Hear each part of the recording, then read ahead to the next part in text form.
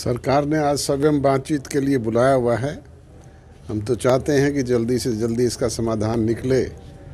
हमने तो सरकार में बैठे हुए लोगों को भी आग्रह किया है कि किसान की समस्या का समाधान किया जाए। अन्नदाता आज परेशान होता हुआ सड़कों पे बैठा है, घूम रहा है। परेशानी सरकार को भी है, किसान को भी है, सब लोगों को है। जल्दी से जल्दी, जितना जल्दी समाधान निकल जाए, उतना ही अच्छा है। समाधान तो सरकार में बैठे हुए लोग स्वयं बार बार ये बयान देते हैं। एग्रीकल्चर मिनिस्टर का बयान है प्राइम मिनिस्टर का खुद का बयान है कि हम एमएसपी को जारी रखेंगे तो उसको ऐड कर दे उसको लिखने में एक लाइन क्या दिक्कत है? जो किसानों की निरंतर मांग हमने तो पहले भी की है। हम तो निरंतर इस बात के पक्षधर रहे हैं और एमएसपी पर आप देख रहे हैं कि हरियाणा प्रदेश में सबसे ज़्यादा फ़सलें एमएसपी प्राइस पे बिक रही है।